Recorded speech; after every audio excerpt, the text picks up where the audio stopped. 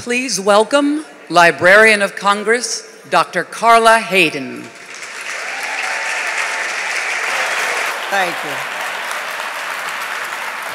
Thank you, thank you, and good evening and welcome to the Library of Congress. It is our pleasure to have everyone here for a very special night to open the library's newest exhibition, Shall Not Be Denied.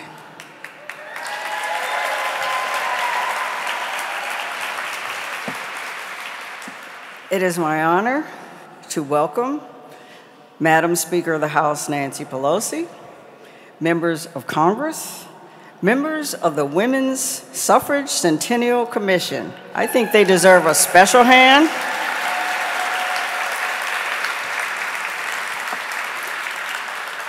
including its chair, Ms. Kay Coles James, and co chair, Senator Barbara Mikulski. who is the longest serving woman in Congress in United States history. A special welcome also to the leaders and staff of the different cultural institutions across Washington. We're so pleased that you're joining us tonight. And of course, library staff, guests, and the viewers online. We're live streaming.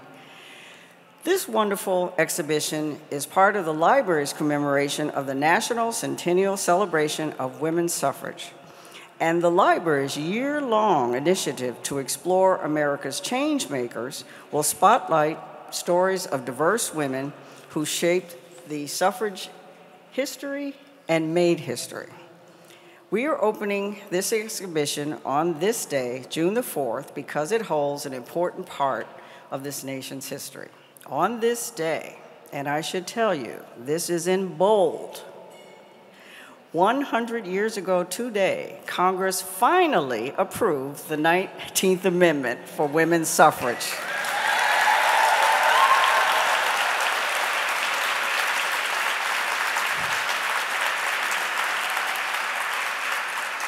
As you may know, it was a long road to get here from the first Women's Rights Convention in Seneca Falls, New York in 1848 to the state of Tennessee becoming the last state needed to ratify the 19th Amendment on August the 18th, 1920.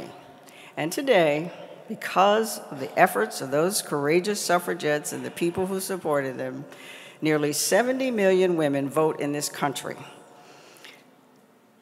That's an applause. Now, the Library of Congress's exhi exhibit, Shall Not Be Denied, will tell the story of the largest reform movement in American history with documents and artifacts from the women who changed political history. The exhibition will show you how women were pre prevented to vote and the 19th Amendment removed that barrier. It should be clear women were not granted the right to vote. Instead, as this exhibition will show you, women earned it. And so, from rallies to even imprisonment, we owe a lot to these heroic women from 100 years ago. This exhibition is also unique because the Library of Congress holds the personal collections of many American suffragettes and leaders of the movement. This includes their handwritten letters, speeches, and scrapbooks created to document their work. The suffragettes donated their materials to the Library of Congress because they wanted their stories to be remembered, and this exhibition will tell those stories. We'll draw from the collections of Susan B. Anthony, Elizabeth Cady Stanton, Lucy Stone, Mary Church Terrell, Carrie Chapman Catt, and the significant organizations, the National Women's Party and the National American Women's Suffrage Association. Through the personal collections of these extraordinary women, you will get a more intimate view into the struggles, the rivalries, and ultimately the challenges of this 70 year movement. And as you walk through the exhibit, I hope you'll take a moment to read passages from the letters on display to get a glimpse of the women's personalities. For example, Abigail Adams telling her sister that she will never consent to have their sex considered in an inferior light. Susan B. Anthony pushing Elizabeth Cady Stanton to write an address for her on equal education, while she said she knew that Elizabeth Cady Stanton was juggling a baby on her knee and her four boys were buzzing about her, but she was the better writer. Nellie Quander of Howard University asking if black women were welcome in the March 3rd, 1913 parade. They were not. And also on display are artifacts describing the suffragettes' harsh treatment in jail, force feeding them, rare printed versions of the 1848 Declaration of Sentiments and the 1878 Declaration of Rights for Women, a bust of Susan B. Anthony that she personally wanted Congress to buy and install in this very building. So it's finally here. A sash and buttons belonging to the suffragette Cora Week, whose photo shows the petite artist staring defiantly into the camera as she heads off to the White House shortly before being arrested. The Library of Congress's mission is to engage, inspire, and inform the American people, and we know that this exhibition will do that. It would not have been possible without the generous support of the library's James Madison Council and additional support from First Financial Bank USA, the Democracy Fund, Mr. Tom Girardi, who's with us tonight, AARP, I'm a personal member, the Barbara Lee Family Foundation Fund at the Boston Foundation, the History Channel, and Roger and Julie Baskes. The creative team, and thank you, thank you to all of them. Now, the creative team that made this exhibition possible and brought it to life includes lead curator Janice Ruth and Miss Elizabeth Navarra. They're right here in front.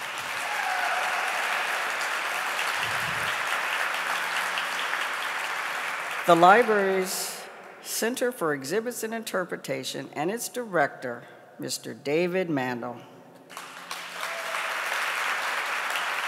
Accompanied by our latest suffragette, his daughter Zoe. And Ms. Carol Johnson, the exhibit director. We're also joined tonight with our creative partners, Pure and Applied for exhibition design and the Upswell for the interactive videos. And both firms, you should know, are women-owned businesses who brought a real passion and energy to this project.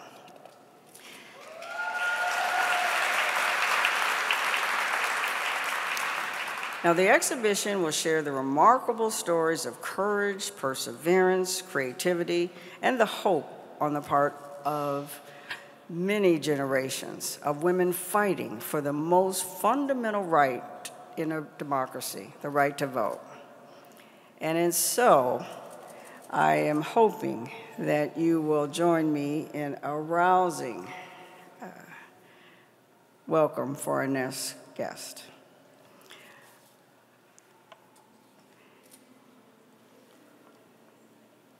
Hello. You are here. Thank you. Please welcome United States Senator Shelley Moore Capito. Thank you.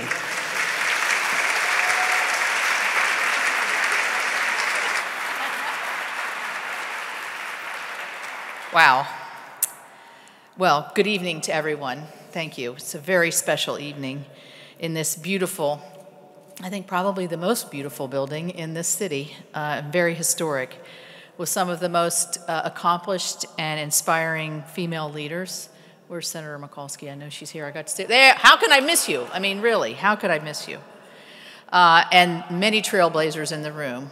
Dr. Hayden, certainly, one of our trailblazers, yes. And Speaker Pelosi, who I know will be here uh, any minute. So it's only fitting that we are here this evening, I think, to remember and to honor the women who really helped to make all of this possible for all of us, the suffragists.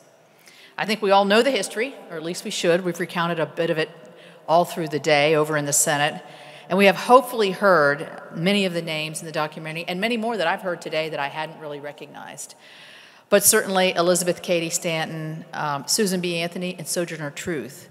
Those are just three. Their deeds at, were certainly great, and the outcomes monumental, monumental. Over the past several months, we've celebrated various key moments in women's suffrage, and the ultimate, we will be celebrating soon, uh, in another year, the ultimate ratification of the 19th Amendment. House passage and Senate's passage today. And with each of these celebrations, like the opening of this exhibit tonight, I'm constantly inspired by these women that I read and hear about. Their words, their images that we're going to see, some of the letters that Dr. Hayden talked about. As Susan B. Anthony said, and I quote, it was we the people, not we the white male citizens, nor yet the male citizens, we, not not yet we, the male citizens, but we, the whole people, who formed the Union. Men, their rights and nothing more, and women, their rights and nothing less.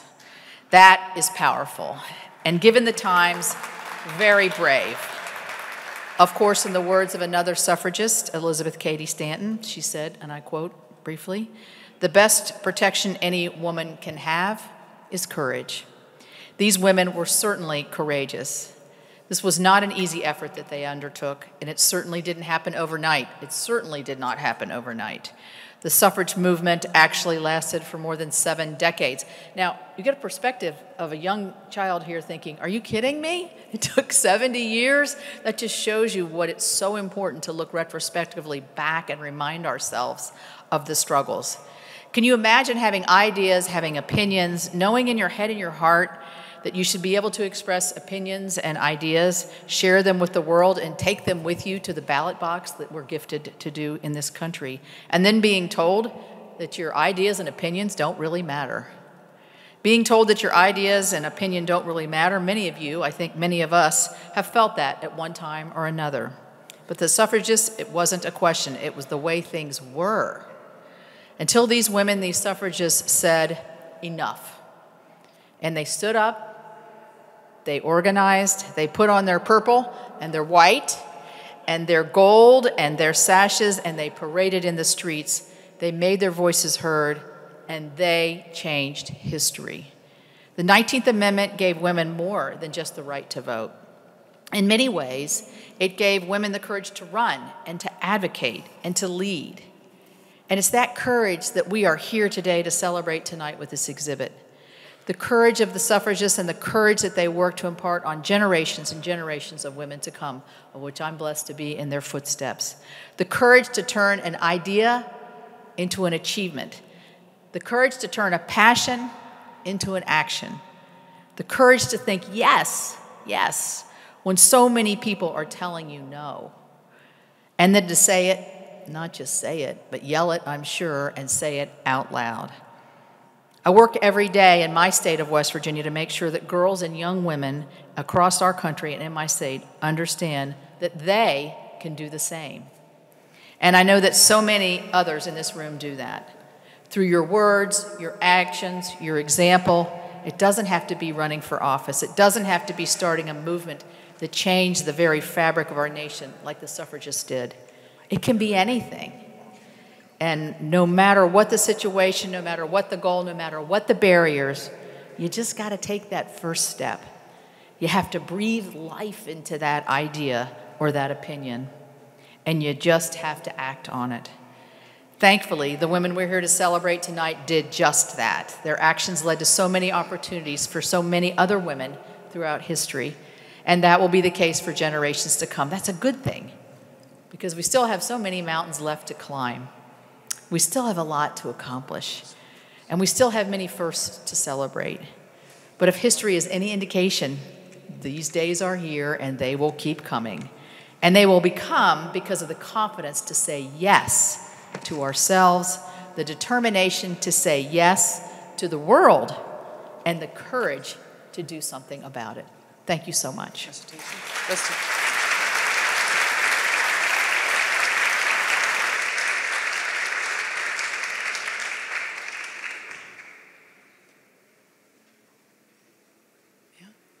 On this day in 1919, the United States Congress approved the Women's Suffrage Amendment for the right to vote.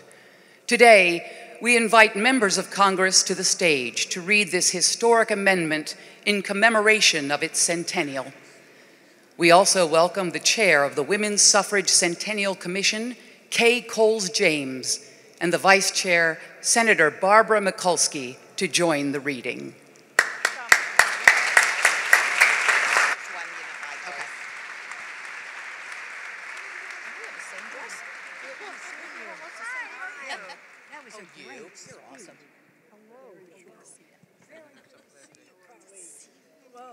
That was a great speech. Oh, thank you. Yes. You haven't had a chance to meet each other. Hi, Senator Maggie. How are you? Good to see you. Uh, uh, we got the mic. This is kind of like congressional karaoke here. And so, Suffrage karaoke. It Might be great. and so, let's begin. Three, two, one. The rights of the citizens of the United States to vote shall not be denied or abridged by the United States or by any state on account of sex. Congress shall have power to enforce this article by appropriate legislation. Amen. That was it? And we thank the members of Congress who are joining us today, former, the members of the commission. We thank you so, so much.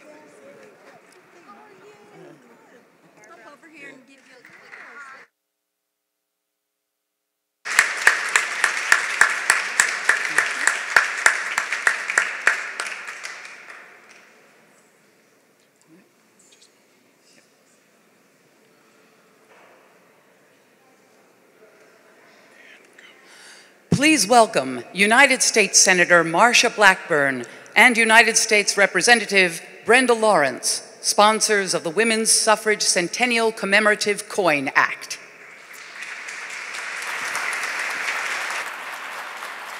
Well, Brenda and I should have just, we came up the steps together. We should have come here. I have to tell you, today's been a magnificent day in the U.S. Senate.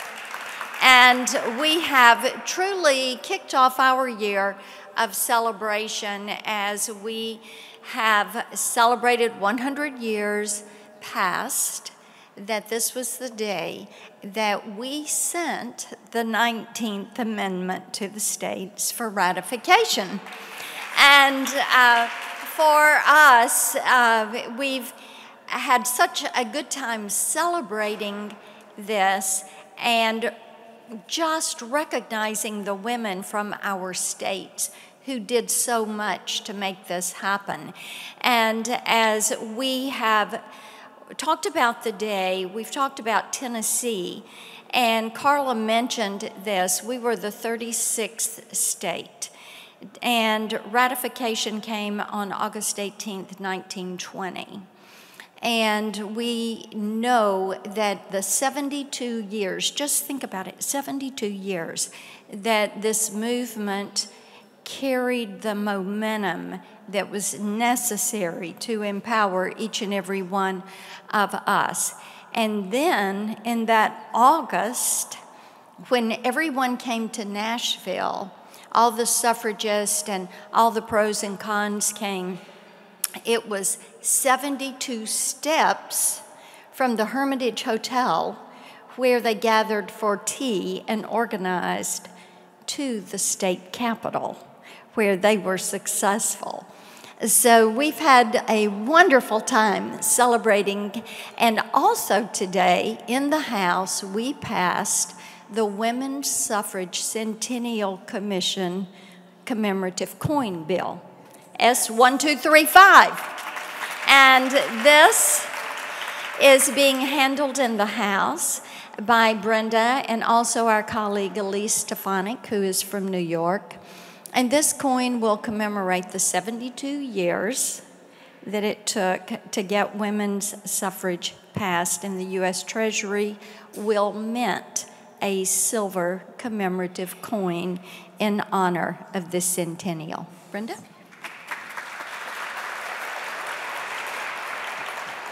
Good evening. It's so, I'm so excited to be here. We had our celebration uh, last month, and to be here today in our white with our yellow roses, it was um, it's such an honor. I just want to give a little reflection on history today. At a time in our country where there were decisions made that women would not have the right to vote, think about it the actual conversation, legislation, protests that was needed for us to have the right to vote. And ladies and gentlemen, I stand here today as a black woman in America.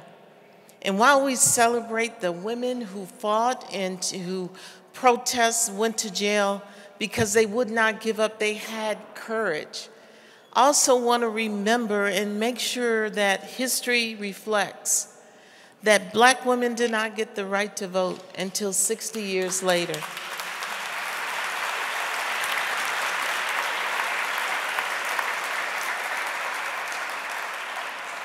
Native American women did not get the right to vote till four years later. And so often people don't realize that Sojourner Truth was, was a suffrage. She was one of the original ones. And I just want to use one of her quotes because she was such an amazing woman. Then that little man in black, he says women can't have as many rights as men because Christ wasn't a woman. Where did your Christ come from? Where did your Christ come from? From God and a woman. Man didn't have anything to do with it.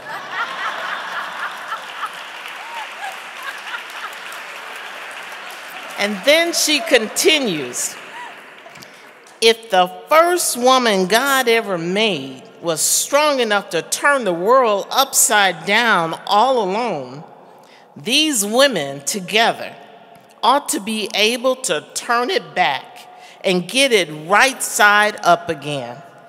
And now they are asking to do it, and the men better let them.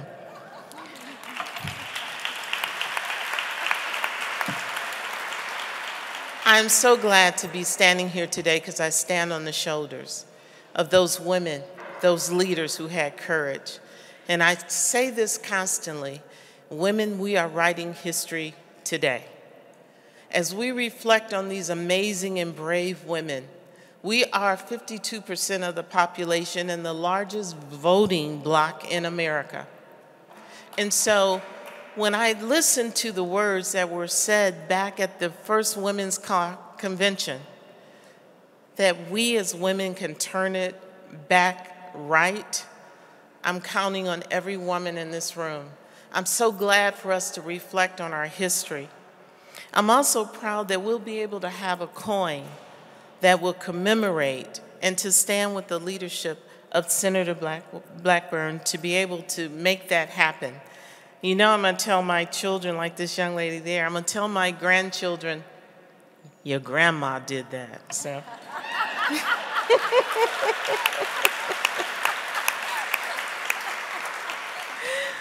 We are also leading a House and Senate letter to the Citizen Stamps Advisory Committee to make sure next year we actually get a postage stamp as well to commemorate our official 100th year. I'm proud to be the Democratic lead on the stamp and the coin, and I just want to leave you with this. I fight every day and show up because I love this country. I love America. And if those have heard me speak before, I love America even though sometimes she didn't love me back. She didn't love me because I was a woman. She didn't love me because I was an African American. But our democracy of this amazing country, with persistence and with the hard work and sacrifice and the courage of Americans, we change things in this country. And I will continue to show up and walk the halls of Congress built by slaves, to show up to understand and to fight and make sure that the democracy that we love continues. I am the bipartisan chair of the Women's Caucus, and I'm zero focused on ensuring women in America will continue to have the rights and the freedoms that were fought for in this country. And I will continue to show up because I believe in one nation, under God, indivisible, with liberty and justice for all. And that includes us women. Thank you.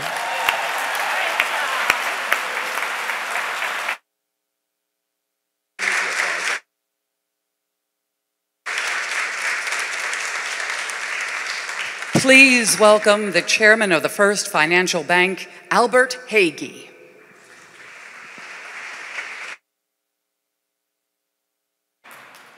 Good evening, everyone. It's, this has been a wonderful celebration, and it's really a privilege for First Financial to be supporting this exhibition. Along with the other generous sponsors and donors of this exhibition, celebrating the centennial of women's right to vote, we're here to support the Library of Congress and to support the first woman to lead this institution since 1802. That's, that's much more than 72 years, so congratulations. Carla Hayden is also the first African American Librarian of Congress.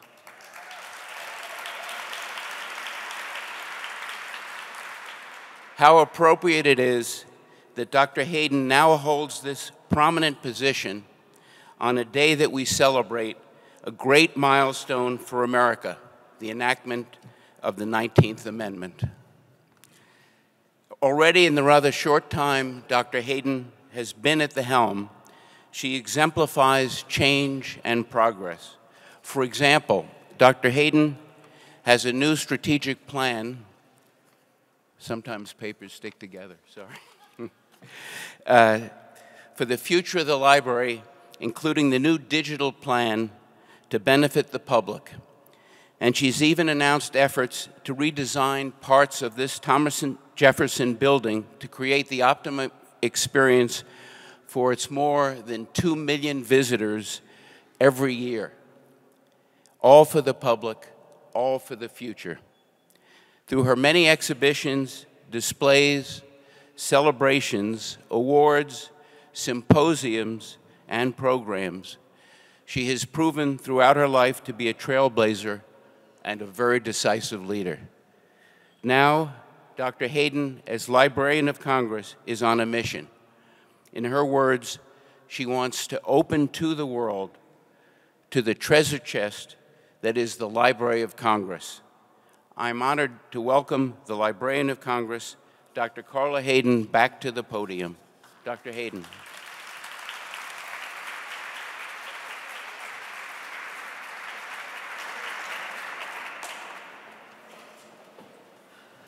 Thank you, Mr. Hagee, for those very kind words and your support of this institution.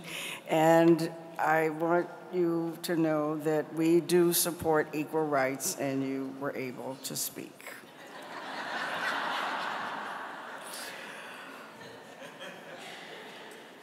Now it is my pleasure to introduce two very special guests.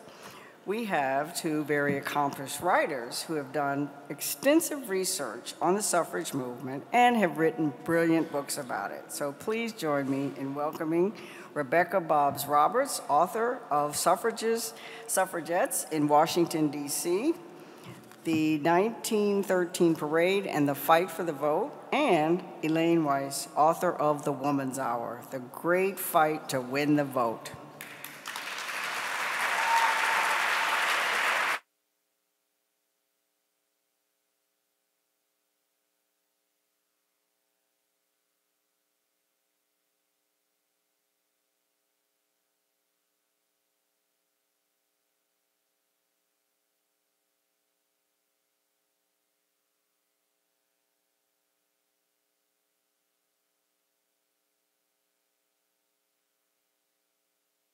All so much for having us here on this historic night in this historic room.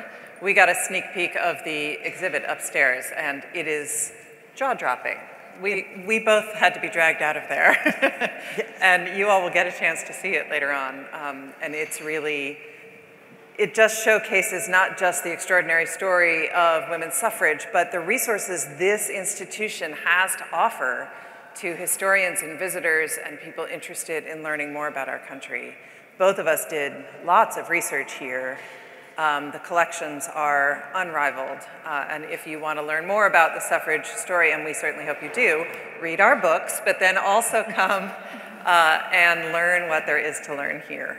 Um, and you got a chance to be in another historic room today. I did. Um, I was, uh, along with other members of the uh, commission and other guests, I was able to be in the gallery of the Senate this afternoon uh, to hear some very beautiful tributes to uh, the uh, passage of the 19th Amendment on June 4th of 1919. And it was very stirring for me, for someone who had studied the congressional record of that day, and of course spent many, many hours uh, working with Library of Congress materials. Um, the, the sense, I, I tried to imagine what it was like for the suffragists to be sitting in that very gallery, watching their cause being decided. Um, something we, um, uh, again, we know of the 72 years that uh, the movement had to work in order to uh, finally achieve equal rights for women. But in the Senate and in the House, in Congress, um, it had been stalled, the amendment, a federal amendment, had been stalled for 40 years. And it had been voted down 28 times. And sometimes so close. Yes, either in committee or, or on the yeah. floor. And so the women must have had a sense of both elation and dread and exhaustion and a sense of final justice. Uh, but they didn't celebrate. In fact, we know that Alice Paul and um, Carrie Catt, the leaders of the two wings of the suffrage movement, were not in the gallery as, as some of us were today. They were out already uh, planning for the ratification uh, fight, which was going to be a very, very difficult fight. So uh, we know that uh, looking forward, these women and the men who supported them were always looking forward. They were never satisfied. They didn't just, you know, have a party and, and say, that's enough. They had to go to the next um, stage of the fight, and that was very moving. And, you know, so most of my research is about the National Women's Party, especially here in Washington, and Alice Paul and all the things she did here. Uh, Elaine focuses on the ratification fight, and Carrie Chapman Catt, who was the general of that um, success. And uh, those two women really sort of embody something that comes up a lot. We discovered when we talk about our books and about this movement that a lot of people ask, uh, what can the contemporary women's movement learn from the suffrage fight? And what, how, what do you see reflected in current feminists' work? Um, and one of the things that I think we both emphasize a lot is that, you know, the National Women's Party, led by Alice Paul, and the National American Women's Suffrage Association, led by Carrie Chapman Catt, they at times were rivalrous and at times poached each other's donors and said nasty things about each other in the press and things like that. But they also really served each other's purposes because the radical wing served to make the moderate ring look reasonable. and the moderate ring went about doing this slow, steady, exhausting grassroots work while the radical wing could do the massive publicity radical stunts that they did. And without the moderate wing, the Women's Party was just stunts, right? And without the fringe element, the moderate party would have kept fighting that slow, steady fight um, for God knows how long. Mm-hmm. And I, uh, again, both Rebecca and I, in our research, uh, again, at different moments of the suffrage fight, uh, realized how much this idea of a uh, two, two organizations with the same goals, with the same passion, with the same idea of justice and equality uh, in their sights and, and their reason for being. But they went about it in different ways. They had different strategies, they had different methods. Um, and to see them work uh, on their own tracks, but towards that same goal, is something I think we can really learn from. We can learn how uh, we can take uh, different approaches to the same problem, to the same goal, and there's a synergy between uh, the different approaches. And what I hope that we can avoid is some of the personal animosity that you see in the letters here in the Library of Congress. Uh, when you do go through them, you see that the political does become the personal uh, very often, and there is distrust between the women. Uh, not just the leaders, but even the, the foot soldiers. So that's something I hope we can learn from and learn that that is not um, really productive.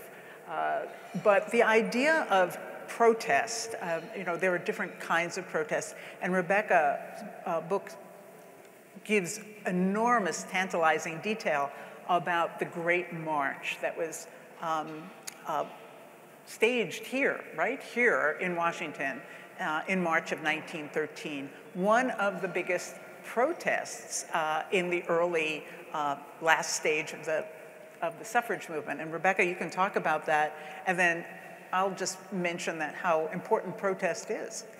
Yeah, so, you know, we all are Washingtonians. You go down Pennsylvania Avenue on any given day, there's always a protest, right? We think of it as just a traffic headache. But that idea of taking an issue to the core of federal power, marching very deliberately from the legislative branch to the executive branch right down Pennsylvania Avenue, that was Alice Paul's idea. Civil rights marches were her idea. She brought that presence here. And you know, the, the research is so great because she kept trying to get the permit for Pennsylvania Avenue, and the police chief was really not down with that plan, in part because she wanted to coincide with Wilson's inauguration. The parade would be March 3rd, and Wilson's inauguration would be March 4th. And the police force was sort of stretched thin with the inauguration coming up, and the end of Pennsylvania Avenue, where Freedom Plaza is now, where the National Theater is, the like 12th, 13th Street was Rum Row. Um, so he thought, you know, a bunch of women marching in the street plus thin police force plus booze equals bad news. and he kept saying things like, how about 16th Street? You can still end at the White House, right? And Alice Paul didn't want the safe, leafy streets of Shepherd Park. She wanted to march down the middle of the corridors of federal Washington. And the other part of the story, I mean, it is amazing that she was that bold. It was pretty transgressive for women to march in the streets mm. in 1913. It was not something nice girls did. Um, the organization level is extraordinary. The women had matching costumes, um, but also she was such a great publicity manager. I mean, she managed to plant stories in newspapers all over the country. She thought through how things would look in pictures. There was this whole sort of tortured allegory of a tableau on the Treasury steps that had very little to do with suffrage, but boy, are those pictures amazing. You can find them all here. Um, and she just was such a pro about how all of that worked. And now we look back and it's, you know, we look back through the lens of history, it was 100 years ago, all that, but they were really thorough. They, today, as activists today, they would be mm-hmm. extraordinary. Think what oh. they would do with social media. Oh, right? Oh. All those banners are tweets. Exactly. And all those photographs. Um, there's a, an enormous collection here at the library, which is so valuable to both of us. It's called Women of Protest. And it is the um, photographic record of the Women's Party, which Alice Paul knew this was going to be important. And she has pictures of every woman who is uh, serving at, at, uh, at headquarters, which was right on Lafayette Square, right across from the White House. No accident that that's where uh, their that's headquarters would be. Yeah. And, and this is a wonderful, wonderful picture from that uh, collection uh, when the 36th state was finally won, and in my book, I tell you how close it comes to not being ratified at all. So we shouldn't take for granted that just because uh, we have this wonderful moment right now when uh, Congress finally, after 40 years, has passed the, the amendment, it now has to go and be ratified by three quarters of the states of the Union, which was 36 at the time, the 48 states. It's a terrible fight. It was not easy at all. Um, the first few come in very early, which is um, Wisconsin and uh, Illinois and Michigan, but then it begins uh, to slow down, and it's a very, very difficult fight. But what this shows is Alice Paul uh, again, a publicity ploy, uh, would uh, sew, sort of, she called herself the Betsy Ross of uh, ratification, and she would sew a star on that banner in the Women's uh, Party colors for each state that ratified. And on August 18th, when Tennessee finally does just ratify uh, by the smallest of margins, she puts the 36th star and she unfurls it uh, on Jackson Place, which was the headquarters then. And this is this wonderful picture of the Women's Party um, members and workers saluting. And then there's another picture of her at that a few moments later when she's toasting um, the ratification. Yes. Now you know that that is not champagne. Uh, prohibition had happened. Yes. and she, she didn't drink. But you know that that grape juice is really, really uh, sparkling. but again, the, the idea of protest coupled with political strategy, I think is what comes through mm -hmm. for us uh, as researchers. And here we could find not only these wonderful photographs, not only the historic newspapers, uh, which the library has digitized, which is an enormous, enormous uh, gift to any researcher or writer. I can look up what was being said in Kingsport, Tennessee in, uh, in the summer of 1920 from the comfort of my home. So this is important resources, but also these letters, the letters that we find here in the manuscript uh, collection, um, which we read on, man, on microfilm. We don't, we don't touch them, we don't you know, soil them. Uh, your eyes do begin to cross when you've read a lot of microfilm. Um, but what we find is this idea that yes, we're going to protest, we're going to be in the streets, we are going to write our congressmen and senators, we are going to lobby, we're going to keep files. There was opposition research very sophisticated opposition research that the suffragists were able to, to um, have in their offices, so they knew exactly which representative and, um, was beholden to whom. Um, they used these sophisticated um, political tools in conjunction with the in the streets kind of publicity gathering protests. Yep. And I think that's important to realize. Again, we have two groups on different tracks, but they are um, complementing one another. And when young people ask me, what can the suffrage movement teach us? I think it's that, that there is a place, an important place for nonviolent protest. And of course, the kind of um, techniques that the suffragists pioneered, the marches, the pickets, the, uh, using test cases uh, to go up to the Supreme Court, legal cases, um, those would be used by the civil rights movements later in the 20th and, and in the 21st century. So I would say, yes, take the lessons of nonviolent protest, vote all the time, even in the weird off your school board elections, and learn the history. Learn it here, learn it in the exhibit, learn it in our books, and thank you so much for being here and having us.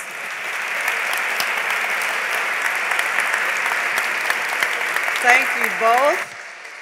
That was wonderful, and we would like to show our gratitude with the few special gifts uh, being brought in by ladies you might recognize. These are frame facsimiles from the library's collection. Oh. The official program of the Women's Suffrage Procession that oh was my. held on that day, March 3rd, 1913 and you can see Yes, I'm Rebecca. Oh, my that we've come a long way, baby. Oh, wow. So thank you, thank you both. We Thank you. really appreciate it. Thank you so much. This is extraordinary. Thank you.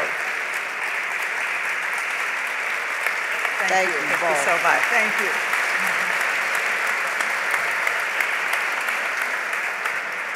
And before, this has been a wonderful evening, and before we've talked a lot about the exhibition and told you uh, some things about it. Uh, we were able to have uh, Congressman Lawrence be reassured that the role of African American women and their struggle is well represented in the exhibition. And so we will invite everyone upstairs to see it and enjoy another um, reception. And on the way up to the mezzanine, you'll be serenaded by the cast of the musical 19. It's a dynamic show that tells the stories of the suffragettes who were the women who fought for a right to vote. And so, to end before we make it to the exhibition, it is my honor to welcome to the stage Speaker Nancy Pelosi.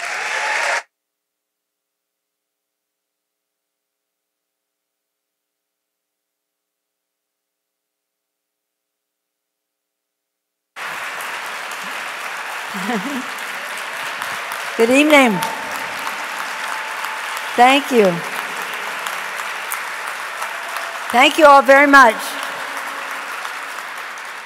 What a wonderful, wonderful evening and program to hear Becca and Elaine talk about the research they have done, uh, the appreciation that they have, and to make it possible for hello, hello, how are you? the future. So here we are. Uh, on May 21st, we passed the 19th Amendment, the, giving women the right to vote in the House of Representatives. We were regaled that day by Senator Barbara Mikulski, who boasted of her service in the House and in the Senate. and Kay Coles James, so thank you, uh, Madam Chair on the committee, thank you. And I know you have heard from some of our colleagues, including Brenda Lawrence from the House and, and others. Uh, I don't know everyone who was here, so I don't want to go down that path, uh, but House and Senate uh, women. Now, here we are. Here we are seated in the Library of Congress. In this Congress, uh, we have over 100 women serving for the first time, 100 women serving at the same time.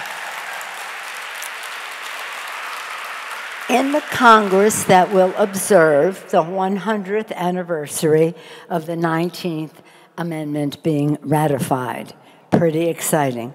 And in a Congress, and this anniversary happening when we have the first woman librarian of Congress.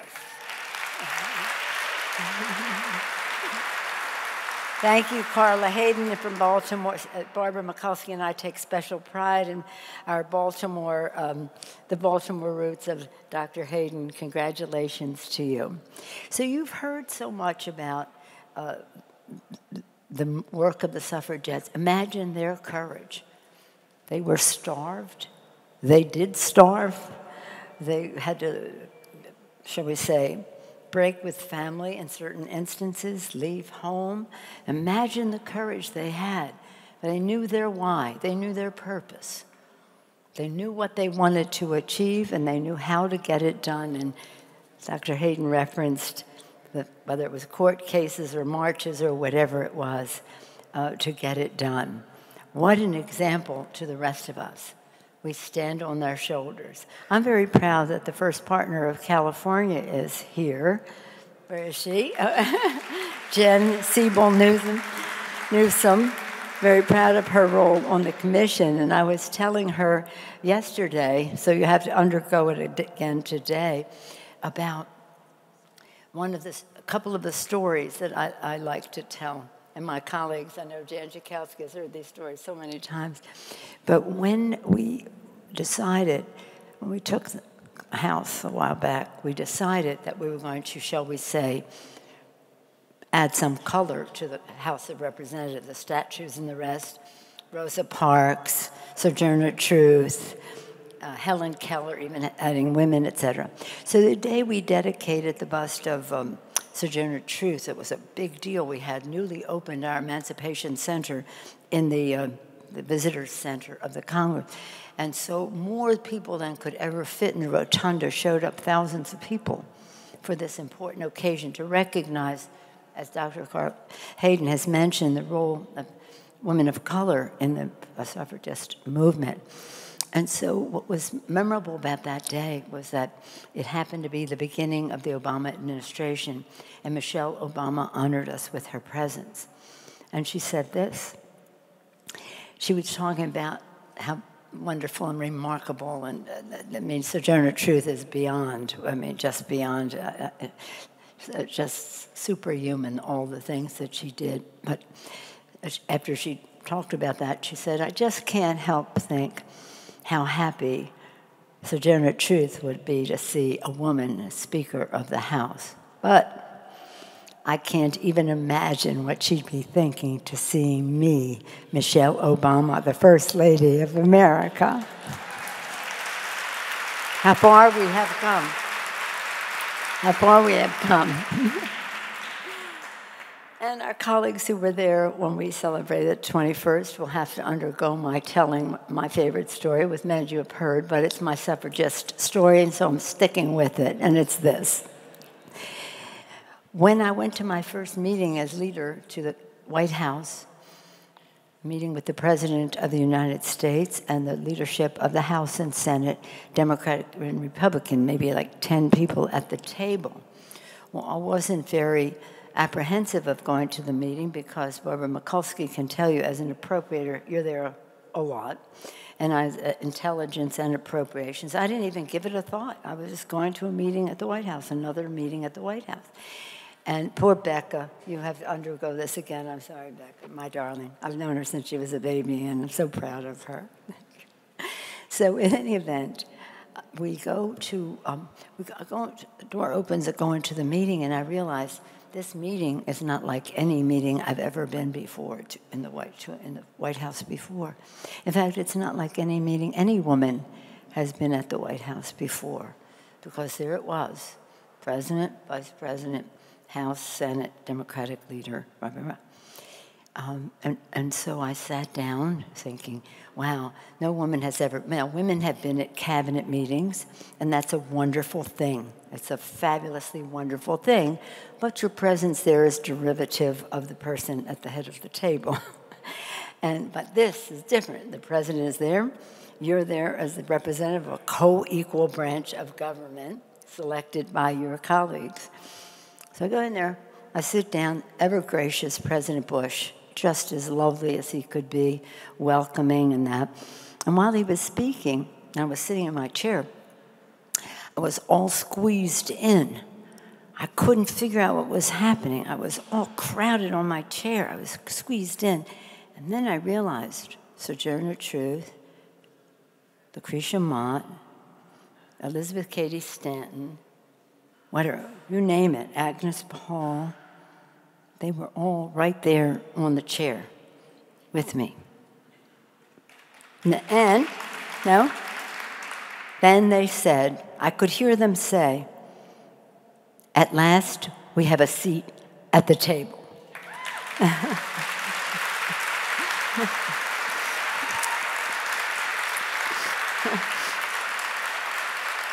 and then they were gone. And then they were gone. Imagine all the time since they started, and then finally the vote came, and then all those many years later to have a seat at the table. And as soon as they said that, my first thought is, we want more. We want more. And that's what we do. we want more. But this is just a, a wonderful time in our country's history when, whether it's at the archives or the Smithsonian and now the Library of Congress, I'll tell you Barbara's story. We're at the Smithsonian Institution and they're having the opening of their uh, display exhibit. And Barbara, we were told to wear white. Barbara didn't wear a white jacket. But she said that night, today she does, she said, the last time I wore a white jacket, I failed chemistry.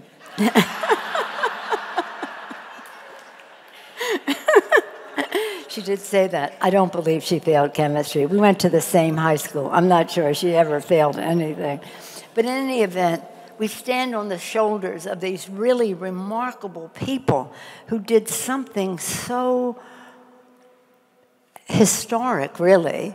And, and it was, uh, you know, our founders, they were entrepreneurial and brave and courageous and the rest. But people their families weren't saying, don't do that and you should stay home and cook or anything like that. These women had to overcome the personal as well as the political, as well as the official.